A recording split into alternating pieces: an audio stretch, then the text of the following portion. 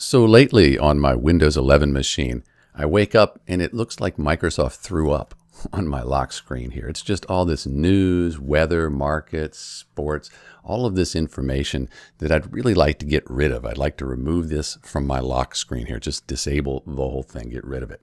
Here's how you do that. On your keyboard, press the Windows key and then I.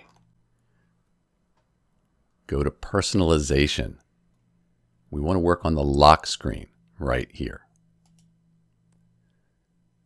Under Personalize your lock screen, go to Picture. You can choose a picture or just have it blank. Let's go with this here. If fun facts, tips, and tricks are turned on, you can turn those off there.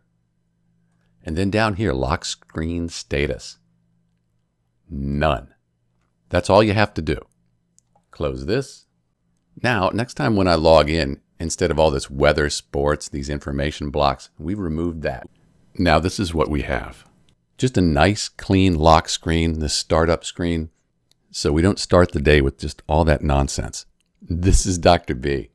Thanks for watching.